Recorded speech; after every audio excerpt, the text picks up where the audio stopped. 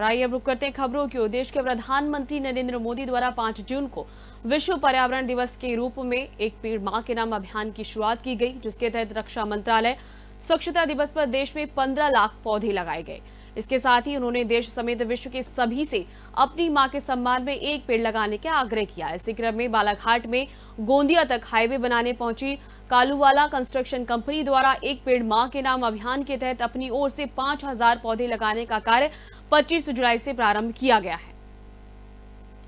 बालाघाट के गोदिया तक हाईवे बनाने पहुँची कालूवाला कंस्ट्रक्शन कंपनी द्वारा एक पेड़ माँ के नाम अभियान के तहत अपनी ओर से 5000 पौधे लगाने का कार्य 30 जुलाई से प्रारंभ किया गया है, जिसमें सरकार की ओर से लगने वाले पेड़ पौधों के अलावा उन्होंने प्रधानमंत्री मोदी जी के चलाए अभियान से प्रेरित होकर अपने खर्च पर एक और से बालाघाट गोदिया मार्ग पर वृक्षारोपण करने का कार्य प्रारंभ किया।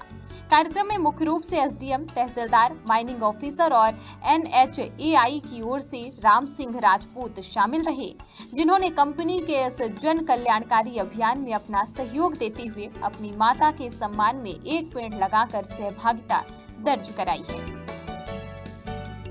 रावणबाड़ी में हरि राम जी अग्रवाल प्राथमिक विद्यालय, रजेगांव जिला गोंदिया के लगभग 300 बच्चों और शिक्षक शिक्षिकाओं ने भी कंपनी के इस कार्यक्रम में शामिल होकर पौधे लगाने में अपना सहयोग दिया। इसी के साथ कालूवाला कंस्ट्रक्शन कंपनी के प्रोजेक्ट मैनेजर मंजीत सिंह से हुई चर्चा में उन्होंने बताया कि हमारे द्वारा लगातार जन कल्याण के पक्ष में कार्य किया जा रहा है और कंपनी द्वारा संचालित सभी प्रोजेक्ट में हम मोदी जी के अभियान से प्रेरित होकर अपनी ओर से पेड़ पेड़ पौधे लगाने का कार्य करते आ रहे हैं। इस बार हमारे द्वारा बालाघाट गोंदिया मार्ग पर 5000 पौधे लगाने का लक्ष्य रखा गया है, जिसकी शुरुआत 30 जुलाई से की गई है। इसके साथ ही उन्होंने बताया कि मानव जाति के पक्ष में लगातार ऐसे कार्य करने का एकमात्र उद्देश्य जागरूकता फैलाना है, जिससे हम और हमारी आने वाली पीढ़ी अच्छे और साफ़ वातावरण में रहकर अपना जीवन यापन कर सके।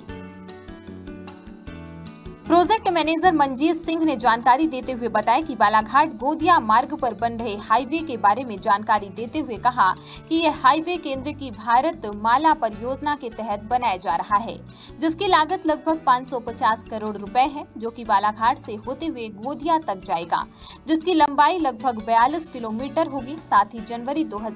से यह कार्य प्रारंभ किया गया है और जनवरी दो हज़ार छब्बीस तक इसे पूरे किए जाने का लक्ष्य सरकार द्वारा दिया गया है। परंतु हमारा खुद का लक्ष्य से मिड 2025 तक कंप्लीट करने का रखा गया है।